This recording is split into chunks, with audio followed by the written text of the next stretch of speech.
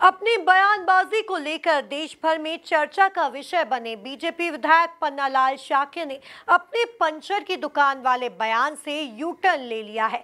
युवाओं को पंचर की दुकान खोलने की सलाह देने वाले पन्नालाल शाक्य ने अब कलेक्टर बनने की सलाह दी है। देखिए ये खास रिपोर्ट।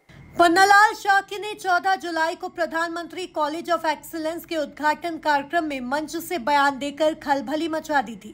पन्नालाल शाक्य ने कॉलेज छात्रों को मंच से सलाह दी थी कि डिग्री से कुछ भी हासिल नहीं होगा, पंचर की दुकान खोल लो, जिससे घर का गुजारा हो जाएगा।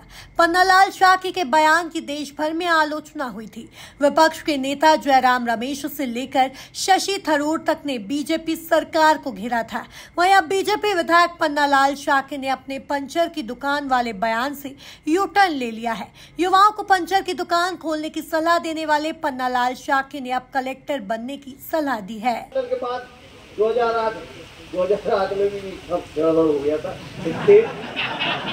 तेरह में मौका मिला। तेरह में मौका मिला। तो ये सब सहज है क्या? कल्पना करो, मैंने पेंसिल की दुकान की गई थी तो इसका ये मतलब नहीं था कि लोग पेंसिल की दुकान करें।